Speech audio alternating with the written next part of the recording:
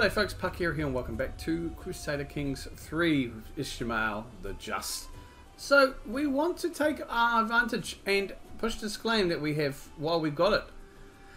But, like we ran into issues in the last episode that prevented us from doing so, we just don't have enough prestige. Now, I didn't, we've got minus 59.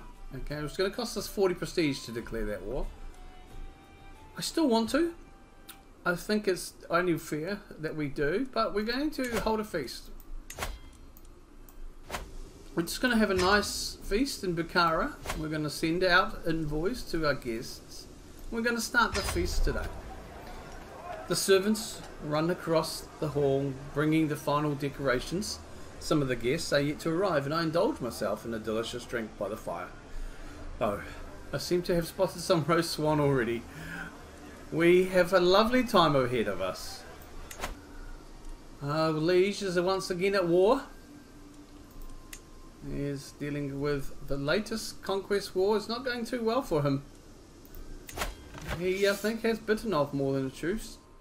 Slightly less advantage in troops now. And now he is facing a another. He is now defending against oh Suradara. The guests have gathered in the great hall, lords and ladies from the near and far reaches of the realm. The mood is bright and spirits are high as the feast begins. Welcome, friends. Welcome.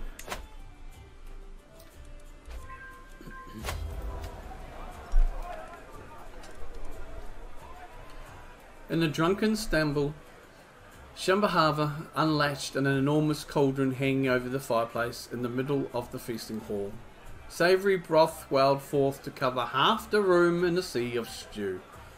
The irritable Yaya, seated next to the cauldron, was caught by the rushing waves and yelled, loudly cursed his ruined appearance as grease ran down his fa face. Guests rushed to the other side of the hall as the thick mass spread grisly tendrils among skipping feet. Varg stood catatonic in the middle of it all, shocked and horrified at the decadent waste. Curse this mess! Just made it worse for ourselves. Ah, uh, is there anything more jovial than a good feast with stew on the floor? Guests throng to and fro, eating and chatting while flickering torchlight plays off every wall light bouncing like laughter around the hall. I've always found the natural order of a banquet delightful to behold. Tables neatly laid out, social ranks quietly enforced, everyone happy and laughing in their proper place, exactly where they should be. Sometimes it's nice to simply sit back and enjoy the little things in life. Good folk to mingle with here. All my guests smile, satisfied at their plates when I look at them, proud of my display of generosity. That said, Shambhava might carry more shame than satisfaction after overturning the cauldron. Cleaning up will not be cheap. However, we should do this more often. I did everything I could ensuring Nahib, Ransir and Yarlada would be as far from each other as possible. It was not enough, and now they have come to blows in the middle of my feast. One of my guards is close to the brawl and looks to me for the order to intervene. Halt! We will talk about this later.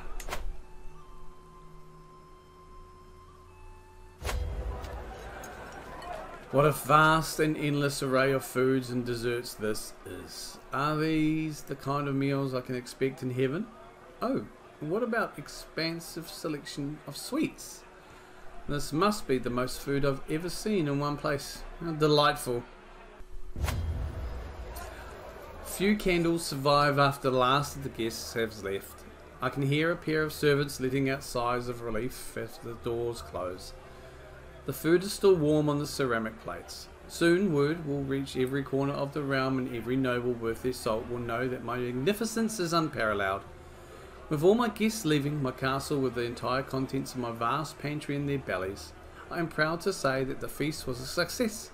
Nonetheless, I will still I am still grateful that the endeavour is over for now. The clean-up will be a while, stew on the floor, and with that, it is all done.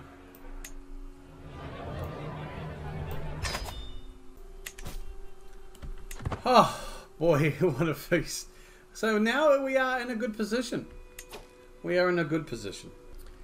And I think time shall no longer be wasted. We will declare war on our claim or that of our brother. Wrathful, gregarious, arrogant half brother. And it's your claim that we could push. Perhaps we should push our own. We will declare this war. I am sorry, brother.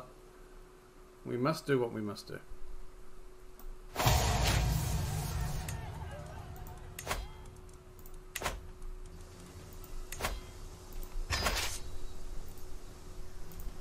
The troops are being rallied. And we will head straight for their capital via Bukhara, Balka.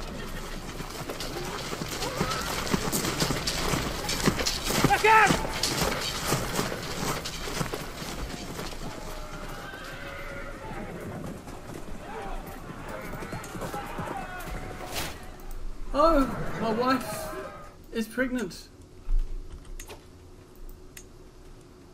My son and heir, Godzilla, is now six years old. We will... Uh, diplomacy. Well, it has to, it's got to be me. I will educate my son. And my son, I will ask you to study the language. I would like you to learn the Scythian language, my son. I feel in diplomacy, all languages will come in useful for you. My daughter is also of age, Cation, his twin, obviously. She is being educated in education. I will seek my seneschal or my court physician. Perhaps my wife. My dear wife. I'm not sure how my second wife will feel about this, and perhaps even how you would feel about this. You are pregnant, you are under some stress and strain. However, I would like you to educate my daughter. Yes. See how she takes that news. we can call our allies into war. I do believe we should be fine. We can now go straight in.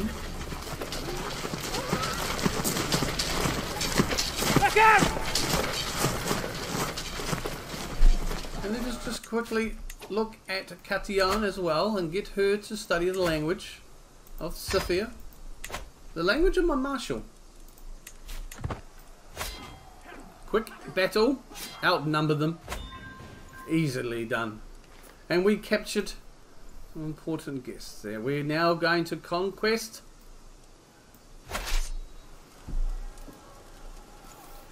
And it should take us about nine months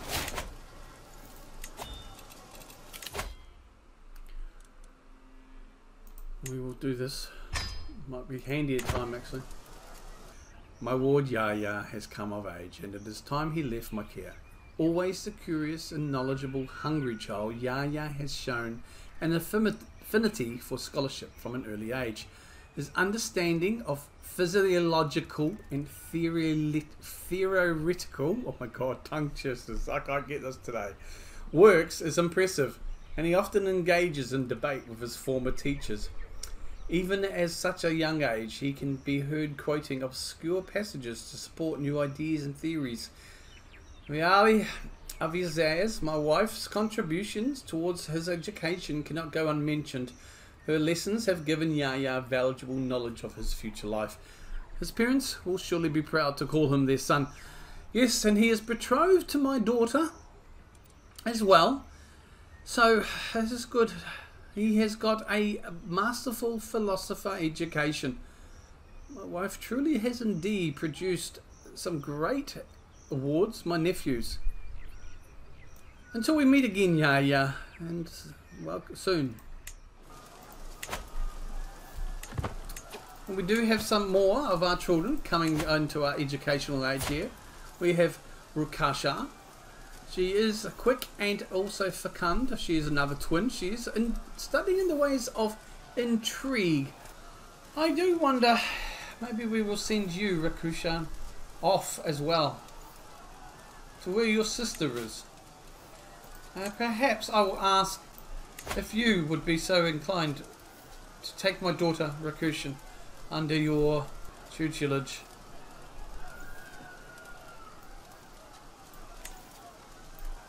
I'll give you my second daughter. Or my other daughter, an intrigue. My daughter Afsan. Yeah, I know of Kargul Vad's, my Seneschal's philosopher and scholarly virtues. He is well recommended to, in court. Now I feel we will ask him to take care and education of my daughter. My dear brother, I would be happy to educate your daughter, Rokushan Samanid. A noble upbringing for a noble spirit. Excellent. Thank you, my brother. My niece needs an education. Uh, she is being educated in the learning tree. My niece. Ah, yes. Your father is my brother, Yaya. Yes. I will send you off as well to be educated. The guardianship. Naive Fazan, my spy master, has seemed to take a particular interest in my daughter, Aria, as of late. My lord, the situation in Samanid House is growing tenser by the day. Your relatives are ever conspiring against you. He says, nudging Avizair to come forth. But I have been cultivating a network of young informants to help you gain an edge, for smaller spies have many uses. All these children are commoners. Young lady Avizair here has remarkable talents and could benefit you. Why are you taking an interest in my daughter? She's not even in our court. Naive. You're deceitful.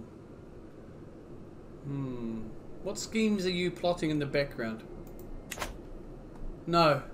My daughter is a, is a noble, not a petty spy. Your daughter, Rakushan, has arrived safely, my brother. I shall begin her lessons forthwith. Very good. Thank you, brother. We have 32 days left in the siege.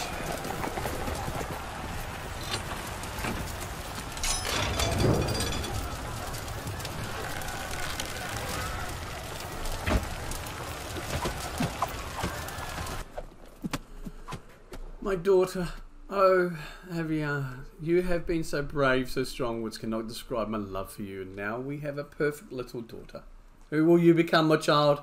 And what shall I call you? We will call you Shamin. May you grow strong and wise, my daughter. She is fecund and intelligent. Yes, may you grow strong and very wise, my daughter. Meanwhile, the siege is over. We have captured who we need to capture. The siege is won. So we will now make our peace and enforce our demands. I'm sorry, brother. So victory, so be it. We have now solidified around. We are max domain limit. we have a lot of work to do.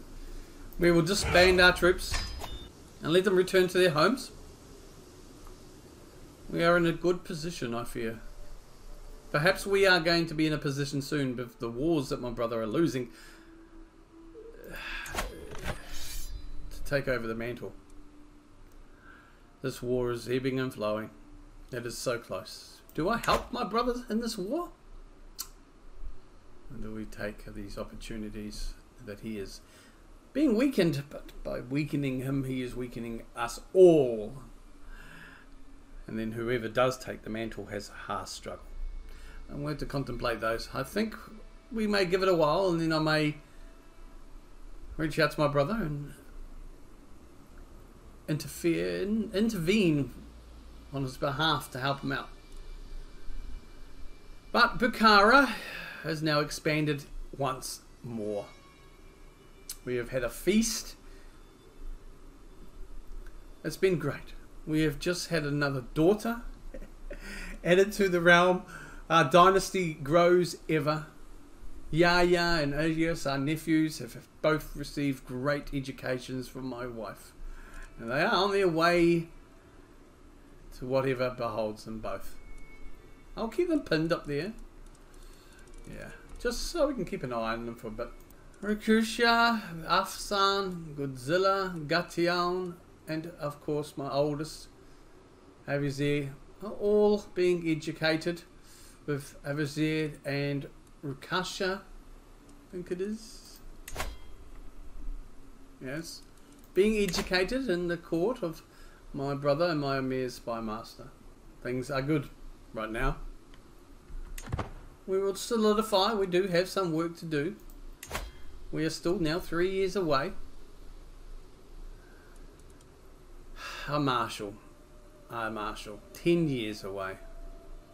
Why is it taking you so long, my marshal? Why is it taking so long to get the populace under control here? My dear cousin are calling you to honour our alliance and join me in the Fugan claim on the Vihala of Cha. My cousin against my half brother. I am sorry, dear cousin. I will not reject family with family. My half brother. My half brother, though known to be deceitful, we are close. I am sorry, but I will have to decline. Hold these lands. We need to get this area under control. I am getting frustrated everly that my marshal cannot get the populace under control soon enough. I feel soon it is time that we may just be pushed to shove and replace our marshal. Oh,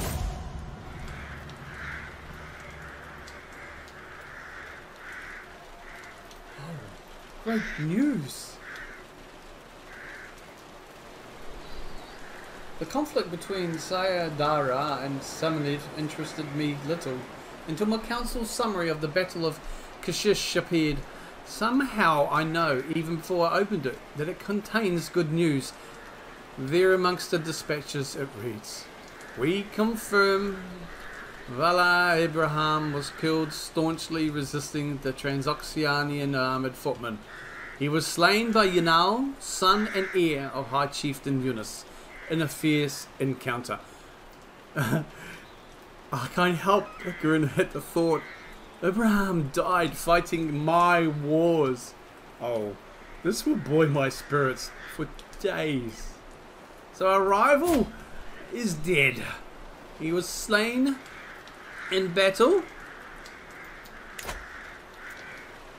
Oh, good riddance. Oh, good riddance. What great news this is. Oh, now my my brother, as we saw, has taken uh, this territory for his own. I shall. No, he has already given it to somebody else. Okay. Ah, detractor. Impatient, zealous, but wrathful. We shall keep an eye on that. Greetings. I have heard good things about you and I am interested in starting a written conversation. I hope this letter finds you willing, for I am waiting your swift reply. Oh, okay. You... Oh. Yes. Well, we'll start. Yes, we will uh, start exchanging letters with Iraq. It could become a, a potential ally for us. Hmm. My dear brother, it would please me greatly if you would personally see to little Fruzan's education until she comes of age. Yes, my brother. Hmm. He has asked us to look after her niece. We we will accept, my brother. I am honoured that you continue to do so. Though, we have proven that we are capable of educating your children. Thank you for your swift response. I am looking forward to our correspondence. Please, I implore you, pick the first subject for us to discuss. Yes, physiological debates are always interesting. Yes. My brother has turned the tide in his war. Hmm. Good. Very good.